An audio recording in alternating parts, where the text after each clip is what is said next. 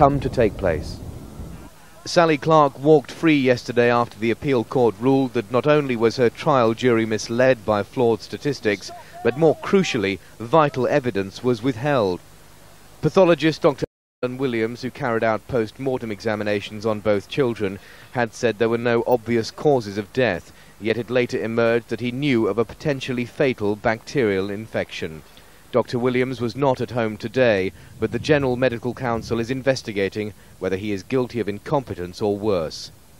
38-year-old Angela Cannings is another mother jailed for murdering two of her children. Her family say she too is not guilty. If Sally Clark is innocent, then that makes Angela doubly innocent. So obviously the impact of yesterday's verdict, I've not forgot that in three years. Um, and I just hope now that something will come right for Angela. Five News has made no attempt to talk directly to Sally Clark after she appealed for privacy, but her solicitor told me the victory is still sinking in. Sally Clark is a lovely, compassionate, thinking individual who has a husband who's devoted to her, she is devoted to him. That surely must give them strength.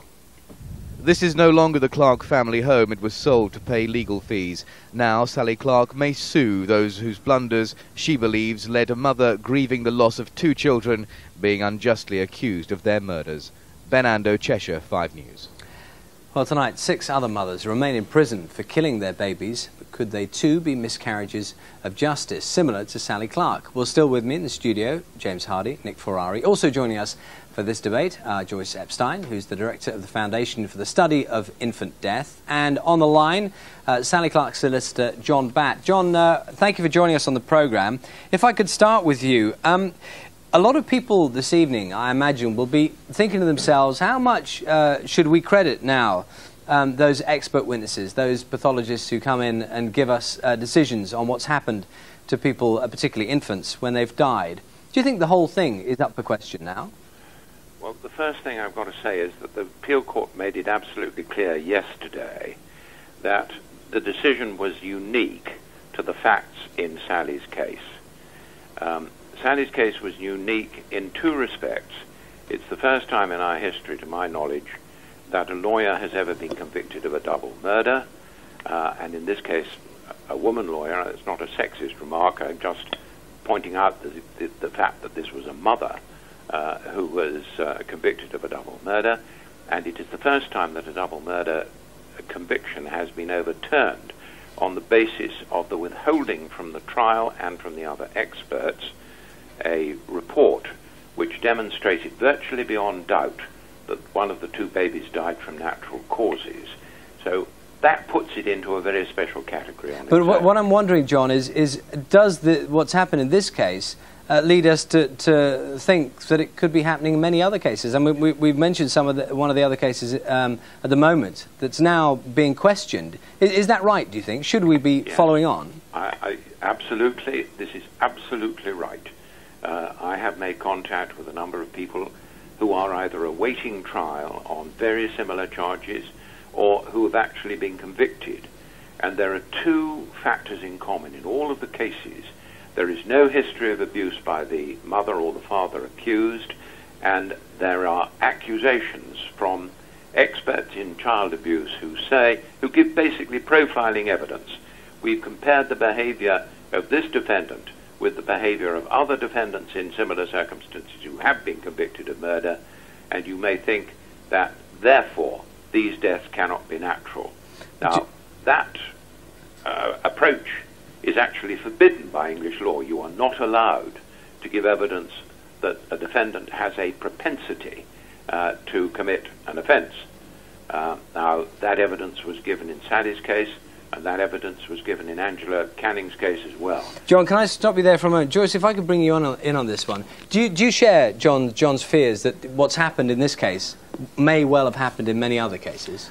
I certainly know that there are systemic problems with the way uh, these kinds of cases are dealt with. Sorry, systemic problems Sorry. is one of those phrases. what, what does that actually mean? I mean that there are problems in the whole system in how sudden infant death is investigated in this country. Give me an idea. What, where, where does it go wrong? Well, for one thing, it should be the case uh, that every baby that dies in this way should be seen by somebody who knows something about baby diseases, a pediatric pathologist. Are you saying that do that doesn't happen? In only one third of the cases are babies seen by a baby specialist. And the result, research shows, is that the diagnosis is wrong in at least 20% of the cases. So that's the first thing. Um, we need to have pediatric pathologists. Um, but we need, we, have heard this um, uh, a few days ago in the Victoria Climbié We need to have all the professionals involved, the police, the doctors, the health visitor, the GP, the pathologist, everybody who's involved with that baby and that family has to sit around a table with a checklist. Did we do this? Did we do this? Did we do this? Did we look at this bit of information, that bit of information? What was the outcome? Come on, let's come to some conclusion as to why that baby died. James, I mean, it seems staggering to me, and I, I think we're all on quite a fast learning curve about how these things actually come about. That a lot of what you're talking about sounds like common sense. Mm. That we, I, I would have assumed that that was happening. Well, I think the, the, the problem with the system at the moment is that the defence takes on its own experts, the prosecution takes on its experts. There's a, there's a tendency on the prosecution experts sometimes to, to find what the police are looking for. Um, I'm not sure whether it's happened in this case. Uh, uh, Joyce may have a better idea than me. Um, but certainly, going right back to the 70s when um, the forensic scientist Frank Skuse uh, effectively convicted the Birmingham Six. We all know what happened as a result of that. There's been a, this problem with defence, uh, with, with expert witnesses. I think there's possibly a way out of this um, offered in the current criminal justice bill, which David Blunkett is putting through Parliament, because for the first time the prosecution will have to give all its evidence to the defence. So everything will have to be disclosed. Yes. I think in this case, that crucial medical evidence would have become clearer. John, can I can I bring you in on this one? I mean, the, I, I can remember. I say first of yes, all sure. that the the Clarks, having had one cot death, pleaded for the the police to appoint a paediatric pathologist. Mm. The paediatrician at the hospital who admitted Harry uh, when he had died pleaded for a paediatric pathologist. The police completely overruled that and said Dr. Williams is a perfectly adequate general pathologist to do this work, and he carried out the autopsy. So, on what grounds did they, they overrule that? I mean, why, why, why was it that they said, you know, they would decide who, who to use? Well, I, I can only, well, there are two grounds. There's first of all the ground of cost, and there is second, the, the, the, the ground that we don't have enough paediatric pathologists. There aren't enough to go round. So the suggestion was they kind of didn't have an expert they could use? Well, Nick, this is it's quite scary, this, isn't oh, it? Listen, Charlie, if this wasn't so appalling, it, it, would be farcical. We have a legal system now. I ask your viewers just to cast their minds back.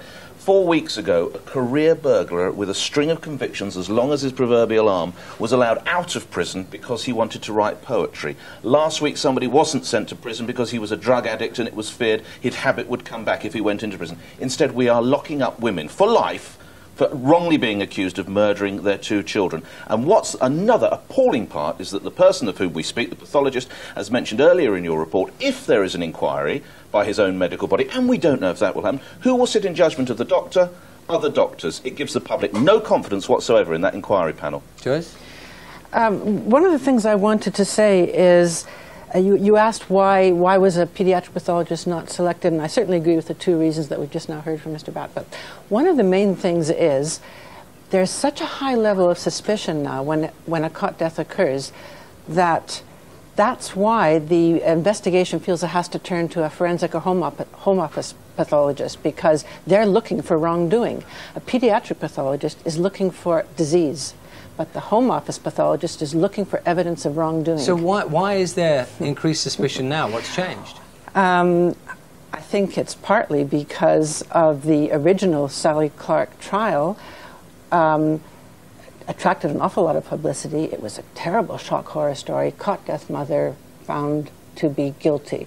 And there were headlines all over about killer parents lurking in all the nurseries and people literally getting away with murder, according to the newspapers. Uh, and the level of suspicion just zoomed way up. And we know not everybody ends up in, in a trial and in jail, but we know that um, bereaved parents are getting treated in some ways just appallingly with because of suspicion. They're they're treated like criminals. Can, John, can I ask you that one? Because obviously you you've been very close. indeed. You you've- can't stop me talking about that. you've one. been, you've been very close to the family. I mean, can you give us some examples of, of what, you know, how they were treated, of what happened during the course of this? Well, they were treated, as has been said, with complete suspicion. Uh, now, don't get me wrong. Every sudden, unexpected death of an infant has got to be properly investigated, not only to make sure that no wrongdoing happened, but also to try and identify the cause of the death. Because no parent wants to hear that it's been the, its baby has died a cot death from some unknown cause. Mothers automatically blame themselves when anything goes wrong with their baby. If the baby dies, they will automatically be saying, it must have been something I did or left undone. But the, the other part of this, the, the main reason for the suspicion is because Professor Sir Roy has been saying over and over again, one cot death is a tragedy, two cot deaths are suspicious, and three are murder until the contrary is proved. Okay, John, I, want to thank you very much for joining us. Joyce, can I ask you, because I think I heard earlier today a quote from you about these very figures, uh, which I found extraordinary, about the numbers of families where two deaths do occur Yeah. of, of, of Yeah. very small babies. It, it's not as rare as uh, as um, Professor Meadows said in his in his evidence that was one in 73 million. we actually at my at Foundation for the Study of Infant Deaths follow up families when they've had a baby die through to their next baby. So we have lots of observe, you know, real. We've observed what actually happens, and in our experience, a cot death family will have another baby die approximately once a year in this country. So it's still pretty rare, but it's not as if it never happens. Okay, Nick, I, I want to, we're on the wind up now. Yeah, I'm of wondering what what can positively come out of this. Po- possibly the publicity can make the authorities treat people with less suspicion. I think so, and I think when I say that Sally Clark was lucky, of course she's not lucky. She suffered untold tragedy, which I can't imagine. But she's a very articulate woman. She had a very supportive husband. She clearly got very good legal advice and legal guidance, and for that we can all give thanks. I just fear that some of these other women of whom we're talking are, I don't want to be demeaning, but check out girls who are not as articulate, as not as well educated, and can't defend themselves as well. What happens to them? Okay, we will have to leave that one there. Joyce, big thank you for you for joining us. Thank you. Now, still to come on 5 News. What do the Queen, Michael Jackson, and Merthyr Tydfil have in common? Before that, more of tonight's top stories. Police investigating the murder of Milly Dowler could be one step closer to finding her killer. The DNA found after a burglary in a church in Sunderland matches with DNA found on Milly's clothing. Her body was discovered in a wood in Hampshire. An eight year old schoolgirl's been crushed to death by a fallen tree.